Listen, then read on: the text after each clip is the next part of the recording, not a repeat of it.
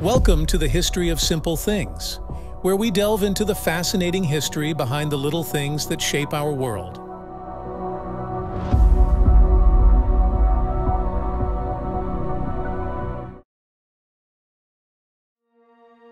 Have you ever strolled down a street at night and noticed that some streetlights cast a warm yellow glow while others emit a cool white light? This seemingly simple difference can have profound effects on our environment, safety, and even our health.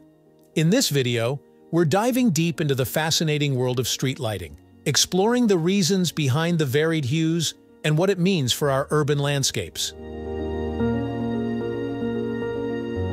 Street lighting has a long and storied history, evolving alongside advancements in technology and changes in urban planning philosophies.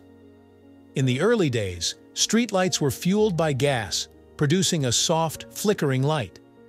The advent of electric lighting in the late 19th and early 20th centuries revolutionized urban illumination. Initially, incandescent bulbs were used, emitting a warm, yellowish light that was familiar and comforting. However, as technology progressed, so did the types of lighting available, leading to the diverse range we see today. The story of street lighting truly begins with the incandescent bulb, invented by Thomas Edison in 1879. These bulbs became the standard for street lighting for many years. They were cheap, easy to produce, and provided a warm, inviting light. The yellowish hue of incandescent bulbs was due to the temperature of the filament inside the bulb. When electricity passes through the filament, it heats up to a high temperature and emits light. This light contains all colors of the spectrum, but it peaks in the yellow and red wavelengths, giving it a warm appearance. As cities grew and the demand for better lighting increased, the limitations of incandescent bulbs became apparent. They were not very energy efficient, and their lifespan was relatively short. This led to the development of alternative lighting technologies, each with its own unique characteristics. One of the first significant advancements was the introduction of high-intensity discharge HID lamps, which include mercury vapor, metal halide, and high-pressure sodium lamps. Mercury vapor lamps, introduced in the early 20th century, were one of the first types of HID lamps used for street lighting.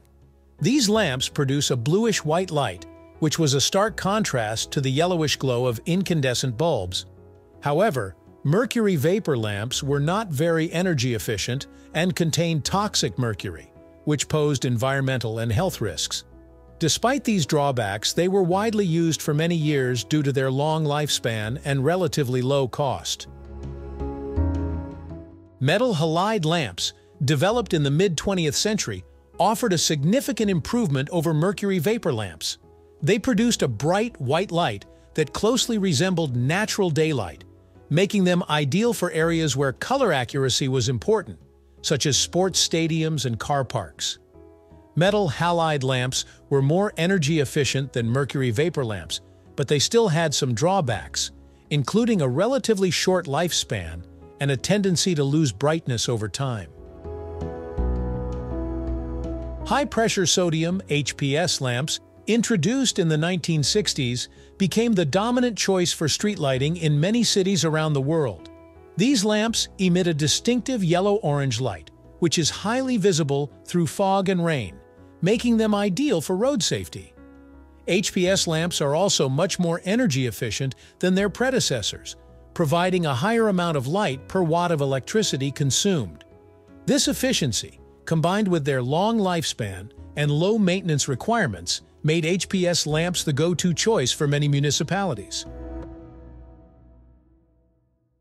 In recent years, the landscape of street lighting has shifted once again with the advent of light-emitting diode LED technology. LEDs have rapidly gained popularity due to their exceptional energy efficiency, long lifespan, and versatility in terms of color temperature. Unlike traditional lighting technologies, LEDs can be designed to emit a wide range of colors, from warm yellow to cool white and everything in between. This has led to a new era of street lighting, where municipalities can choose the exact color temperature that best suits their needs. LEDs work by passing an electrical current through a semiconductor material, which then emits light. The color of the light can be precisely controlled by adjusting the materials used in the semiconductor and the design of the LED. This flexibility allows for a range of color temperatures, measured in Kelvin.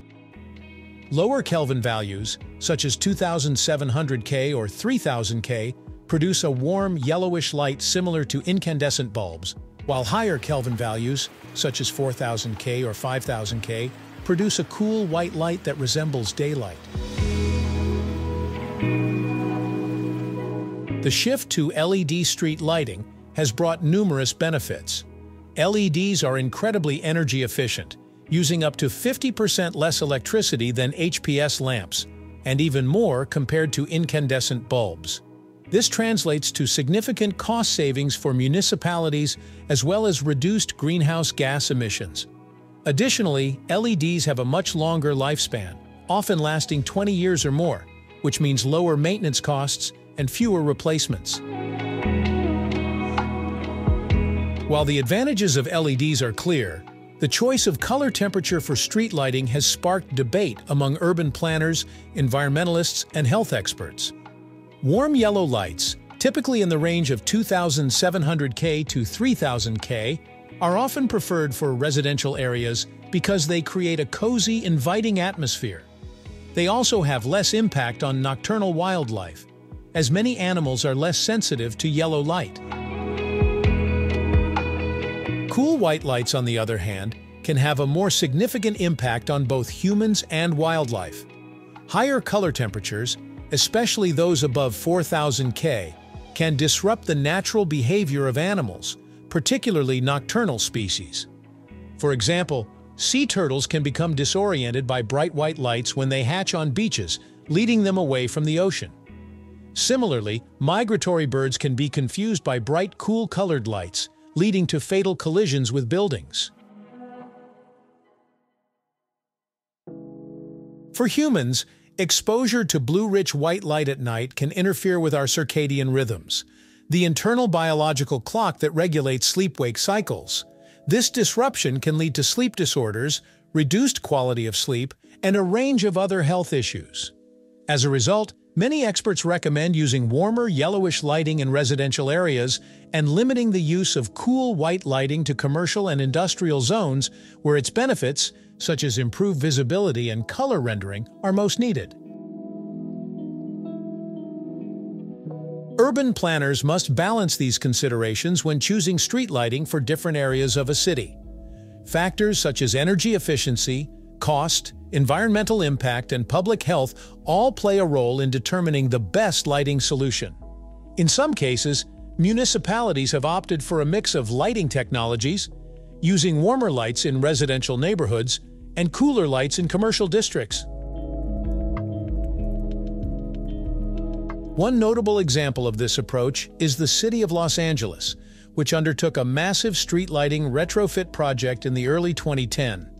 The city replaced over 140,000 streetlights with LED fixtures, choosing a color temperature of 4000 K for most of the lights. While this decision was initially praised for its energy savings and improved visibility, it also sparked criticism from residents and environmentalists concerned about the potential health and ecological impacts.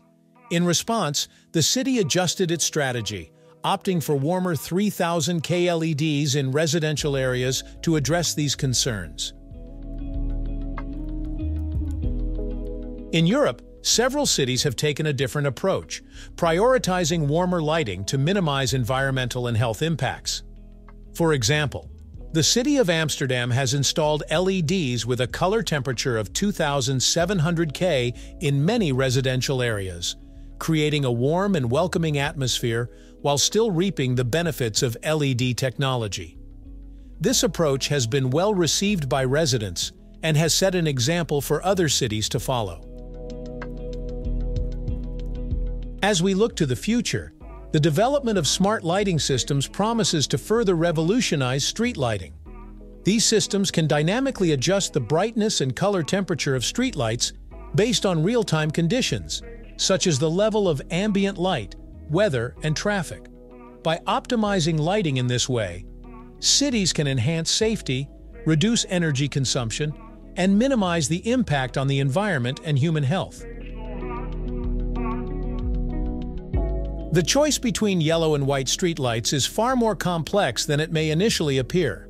It involves a careful consideration of factors such as energy efficiency, environmental impact, public health, and urban aesthetics. As technology continues to advance, the future of street lighting looks brighter than ever, promising smarter, more sustainable, and more humane solutions for our cities.